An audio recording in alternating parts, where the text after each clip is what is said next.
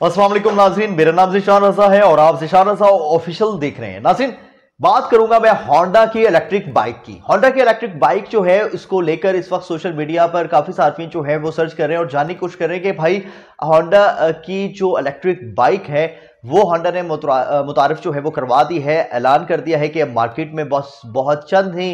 आ, मतलब दिनों में मार्केट में लॉन्च होने वाली है लेकिन इसकी कीमत क्या होगी? अहम सवाल है कि इसकी कीमत क्या होगी? खसूसियात के साथ कीमत बहुत अहम है। और बताते हैं आपको कि इसमें जो खसूसियात हैं, वो तो आपको थोड़ा सा मैं बता दूँ कि इसकी जो बैटरी टाइमिंग होगी, वो तीन से चार घंटों के अंदर बैटरी इसकी फुल होगी और ये जो टाइमिंग होगी, वो कुछ ये होगी कि कम अज़ कम आप जो किलोमीटर, नब्बे किलोमीटर जो है, वो आप सफ़र कर सकेंगे। नब्बे से पचासी किलोमीटर के दरमियान ये सफ़र करेगी एक चार्ज पर।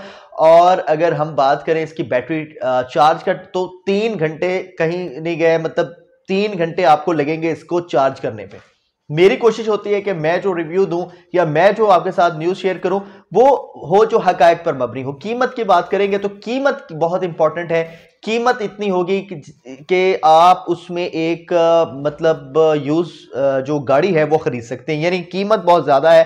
जिसकी वजह से मार्केट में ये चल नहीं सकेगी। हालाँकि होंडा की बहुत सारी जो बाकी बाइक्स हैं seventy one two five hundred प्राइडर है 150 है उसके ऊपर 125 है 125 ब्लैक गोल्ड है इसके ऊपर मैं ऑलरेडी पहले रिव्यू भी कर चुका हूँ होंडा के आ, मतलब सारी चीज़ों के बारे में हम आपको आगाह करते रहते हैं। लेकिन जो लोग होंडा पसंद करते हैं शायद वो लें क्योंकि मार्केट में जो रेट है वो बहुत ज़्यादा है। रेट क्यों ज़्यादा है? 2019 में जब इसे लॉन्च किया गया था तो इसका जो रेट डिसाइड किया गया था, वो छह लाख सत्तर हज़ार रुपए थे 2019 में। और अब की सूरत हाल कुछ ये होगी कि जो, अब जो इसकी कीमत बन रही है पाकिस्तानी रुपयों में, वो बनती है तेरह लाख रुपए। तेरह लाख रुपए की आप सोचेंगे, इस तेरह लाख रुपए में तो आपको हैवी बाइक मिलता है, आपको अच्छी से अच्छी बाइक्स मिलती हैं। लेकिन आप अगर इलेक्ट्रिक बाइक लेना चाहते हैं तो उसमें हाँ होंडा ने अगर मार्केट में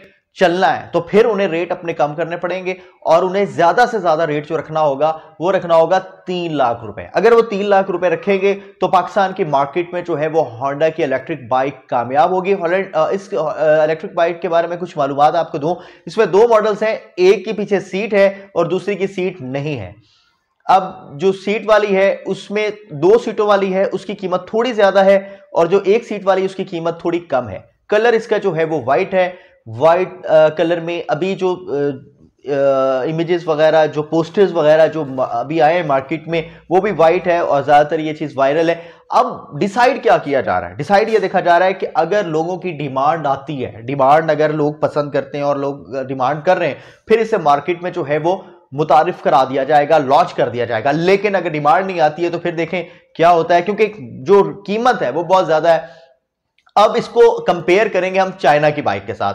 मतलब चाइना ने जो लॉन्च की है, मुख्तलिफ़ कंपनीज़ की बाइक बाइकें किसी एक कंपनी की मैं बात नहीं करूँगा, बहुत सारी कंपनी की बाइक आ चुकी हैं इलेक्ट्रिक जो स्कूटर्स हैं।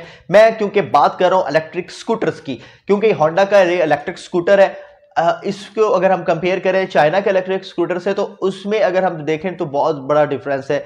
उन, उस, वो जो कीमत है, वो बनती है दो लाख बीस हज़ार, दो लाख पैंतीस हज़ार रुपये में आपको चाइना मेड का कोई भी, किसी भी अच्छी कंपनी का जो आपको इलेक्ट्रिक स्कूटर मिल जाता है। तो इसीलिए मैंने कहा है कि अगर कीमत तेरह लाख पे जाएगी तो मुमकिन नहीं होगा कि आप तेरह लाख रुपए में एक इलेक्ट्रिक स्कूटर खरीदें। इसमें थोड़े और पैसे डाल के लोग यही कहेंगे भाई हम कार खरीद लेते हैं। हम क्यों खरीदेंगे इलेक्ट्रिक स्कूटर तो ये बहुत इंपॉर्टेंट है जो आपके साथ चीज़ मैं शेयर कर रहा हूँ कि अक्सर लोग ये जानना चाह रहे हैं कि भाई कीमत क्या होगी? कीमत आ, मैं ये समझता हूँ कि जिस तरह से चाइना की अगर दो लाख पैंतीस में आ रही है तो आप तीन लाख साठ तक कर सकते हैं तीन लाख पचास तक कर सकते हैं या हद चार तक जा सकते हैं। लेकिन इससे ज़्यादा जब होंडा अगर ये इसकी कीमत, क्योंकि अभी जो डिसाइड की गई है 2019 में जो उन्होंने डिसाइड की थी, जब ये इसको मुतारफ कराया गया था, अब चूँकि पाकिस्तान में ये चीज़ मुतारफ कराई जा रही है, और पाकिस्तान में इलेक्ट्रिक बाइक्स को लेकर इस वक्त जो है वो बहुत ज़्यादा लोग पसंद कर रहे हैं। खरीदा जा रहा है। चाइना मेड जो इलेक्ट्रिक स्कूटर्स हैं स्कूटीज जो हैं, वो खास तौर पे खरीदी जा रही हैं। खातन बहुत ज़्यादा जो है उसे पसंद करें, क्योंकि उन्हें चलाने में आसानी है।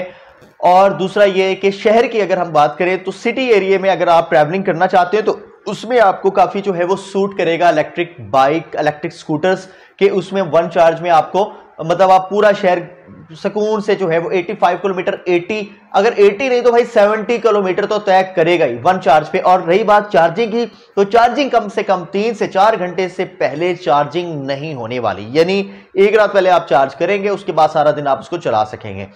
ये थी वो तफसीलात जो होंडा का जो इलेक्ट्रिक स्कूटर है जो इस वक्त मार्केट में जो है वो आ, बहुत सारे लोग उसके बारे में जानना चाह रहे थे कि कीमत क्या है और उसमें खसूसियात क्या है कि अगर वो ख़रीदते हैं। हाँ ये जो वीडियो है वो बनाने का जो मकसद था वो आपको इस हवाले से आगाही देनी थी।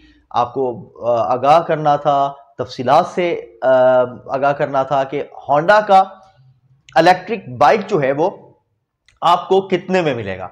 और इसकी में खसूसियात क्या होगी? चार्ज कैसे होगा? हाँ इसके साथ आपको चार्जर मिलेगा बैक मिरर मिलेंगे। बैक मिरर के साथ यहाँ पे आपको जो है वो आ, बहुत दिलकश किस्म की जो लाइट्स हैं वो मिलेंगी। खूबसूरत है पायदार भी है सब कुछ ठीक है लेकिन कीमत ज़्यादा है। कीमत ज़्यादा है और इसमें अगर हम बात करें कि पेट्रोल इसमें डिफरेंस का तो एक चार्ज पे आपके कितने यूनिट इस्तेमाल होंगे? यूनिट आपके इस्तेमाल होंगे दो यूनिट। तो दो यूनिट के पैसों का आप मल्टीप्लाई करें, हिसाब लगाएँ कि आपको दो यूनिट टैक्स के साथ कितने में पड़ेंगे। एक चार्ज आपका दो यूनिट पे होगा।